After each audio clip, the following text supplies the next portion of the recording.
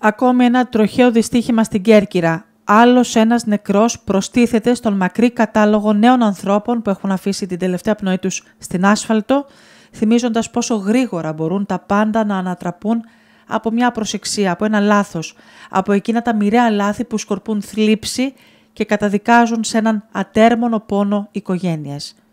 Ήταν 11 παρατέταρτο το βράδυ της Πέμπτης, όταν κινούμενος στην Εθνική Οδό Κέρκυρας Παλαιοκαστρίτσας στην περιοχή των Γοβιών, 25χρονος κυρκυραίος μοτοσυκλετιστής χάνει τον έλεγχο του δικύκλου, βγαίνει από την πορεία του και προσκρούει σε στήλο φωτισμού. Αποτέλεσμα, ο θανάσιμος τραυματισμός του.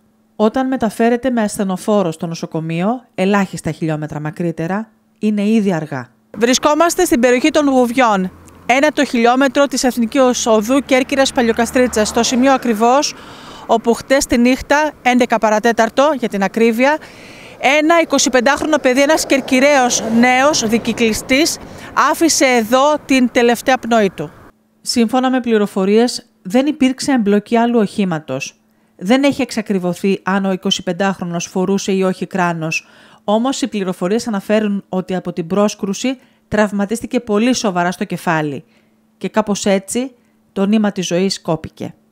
Προανάκριση για τον ακριβή προσδιορισμό των συνθήκων που οδήγησαν στο θανατηφόρο τροχαίο διενεργεί το τμήμα τροχέας της Κέρκυρας.